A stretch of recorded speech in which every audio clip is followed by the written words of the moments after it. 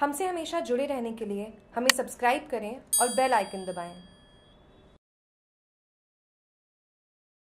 सुमेरपुर शहर में शुक्रवार को अधर्म पर धर्म की विजय का प्रतीक विजयादशमी का पर्व बड़े उत्साह, उमंग के साथ मनाने को लेकर नगर पालिका द्वारा तैयारियों को अंतिम रूप दे दिया है वहीं कार्यक्रम को लेकर नगर पालिका प्रशासन द्वारा कल सर्वप्रथम भगवान राम सहित परिवार की भव्य शोभा यात्रा निकाली जाएगी। वह शोभा यात्रा मुख्य मार्गों से निकलकर दशहरा स्थल पहुँचते ही बड़ी सादड़ी के शोर गारों द्वारा शानदार आतिशबाजी का प्रदर्शन भी किया जाएगा।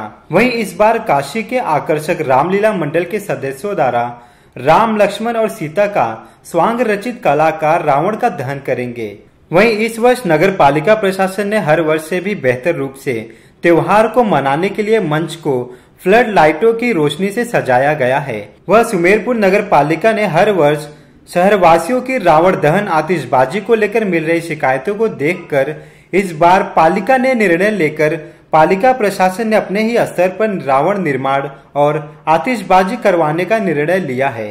रावण की लंबाई की बात करें तो पिछले वर्ष 30 फीट का बनाया गया था और इस वर्ष 41 फीट का रावण निर्माण किया है।